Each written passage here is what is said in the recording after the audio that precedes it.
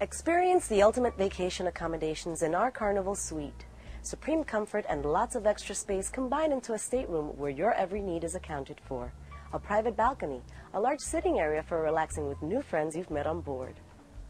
The penthouse suites even include whirlpool bath and a walk-in closet. It's your vacation, and this definitely is the best way to pamper yourself.